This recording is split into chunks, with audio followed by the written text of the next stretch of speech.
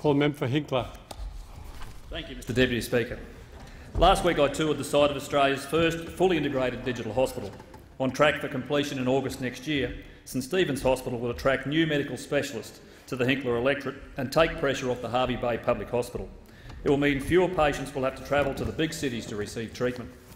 Cochrane Construction Project Manager Ian Colburn showed me around the impressive site, where approximately 65 per cent of the workers are local.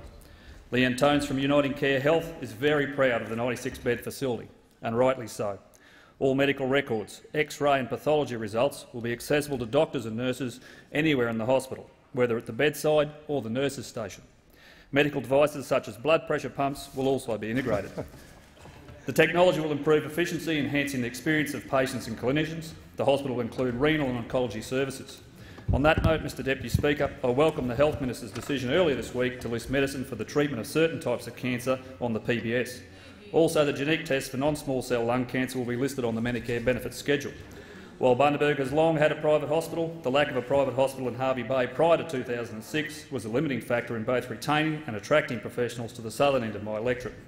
Championed by local, state and federal MPs Ted Sorensen and Paul Neville, the $87.5 million project will have $47 million from the Health and Hospitals Fund by the time it is complete. I look forward to working with Uniting Care Health to make Hervey Bay one of the country's leading health hubs.